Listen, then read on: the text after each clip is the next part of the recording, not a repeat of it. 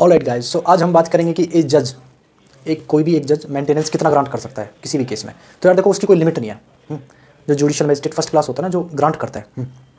वो उसकी चॉइस है, वो कितना भी डिपेंड मतलब ग्रांट कर सकता है वाइफ को अब वो डिपेंड करता है हस्बैंड के इनकम पे और उसकी असेट्स पे, उसका फैमिली बैकग्राउंड क्या है, उसकी सोशल मार्केट वैल्यू क्या है हम्म। मतलब बहुत चीज़ें मैटर करती हैं तो मिनिमम तो होगा कुछ 500 वगैरह, लेकिन मैक्सिमम कोई लिमिट नहीं है यानी कि वाइफ को कितना भी मेंटेनेंस जज आप दे सकते हैं अब मान लो कभी कभी क्या होता है ना जैसे वाइफ को कुछ पसंद नहीं आता तो अपर कोर्ट में जाते हैं फिर हाई कोर्ट में जाते हैं। तो जो हाई कोर्ट और सुप्रीम कोर्ट होते हैं इनके पास तो इतनी डिस्क्रिप्शन होती है कुछ भी कर सकते हैं। मतलब अगर अपनी पे आ जाए तो ये कितना भी मेंटेनेंस दे सकते हैं। और जो अगली पार्टी है ना हस्बैंड उसको मानना भी पड़ेगा। सपोज़ हाई कोर्ट ने बोल दिया हम्म, या फिर डिस्ट्रिक्ट कोर्ट ने मतलब जो भी अपर अपर कोर्ट है समझ जाओ तुम। अगर उसने बोल दिया तो भाई तू इसका इतना देना ही पड़ेगा। तो देना ही पड़ेगा भाई। देना ही पड़ेगा। हम्म। तुम्हारे पास क्या ऑप्शन है हस्बैंड के पास? वो अपील में जा सकते हैं रिवीजन में जा सकते हैं वगैरह वगैरह। ठीक है? लेकिन अब अगर एक बार जज साहब ने दे दिया ना तो दे दिया।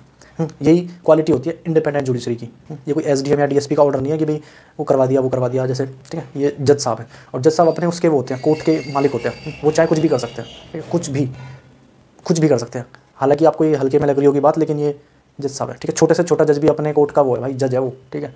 अभी ना हम एक वीडियो बनाएँगे डेडिकेटेड ये बहुत चल रहा है ना आजकल ये यूपीएससी और ये जज तो जज पावरफुल होता है इसके भी ऊपर डेडिकेटेड वीडियो बनाएँगे ओके आने वाले टाइम में लॉ स्टूडेंट्स के लिए फ़ायदा होगा देखना ज़रूर ओके सो कितना भी सुना सकते हैं भाई, कितना भी।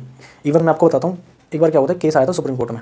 अब सुप्रीम कोर्ट के पास ना यार बहुत सारी डिस्क्रिप्शन पावर होती है मतलब उन्हें जस्टिस के लिए कहीं भी जा सकता है, यार, किसी भी हद तक जा सकता है। अब तुम उससे समझ लो। हम्म। क्या हुआ था? भाई हस्बैंड वाइफ सॉरी दो भाई थे, उनका जॉइंट बिज़नेस था। एक भाई की डेथ हो गई। हम्म। तो क्या हुआ? भाई वाइफ को मेंटेनेंस नहीं दे रहे थे या जो भी था तो वाइफ कर करके सुप्रीम कोर्ट चलेगी तो सुप्रीम कोर्ट ने देवर को बोला, भाई, तू इसको मेंटेनेंस देगा हर महीने? अब देखो, कहाँ देवर, कहाँ पति? तो डिपेंड करता है तो अब वो दे रहा है, देना पड़ रहा है भाई। पहले दे देता कोर्ट से जान ले के देना पड़ रहा है। यानी कि डिस्क्रिप्शन पावर होती है बहुत सारी मतलब बहुत तगड़ी वाली कुछ भी कर सकते हैं। जस्टिस अचीव करने के लिए कुछ भी कर सकते हैं सुप्रीम कोर्ट और हाईकोर्ट तो।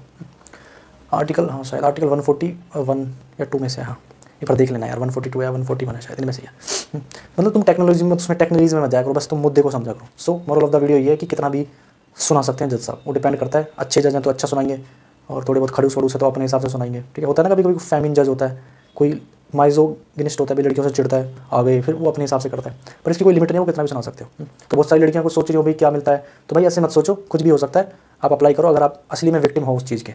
अदरवाइज़ गलत बेनिफिट ना उठाओ। यार देखो मैं भी बोलता हूँ, लेकिन मत उठाया करो। Okay so I hope it is clear bye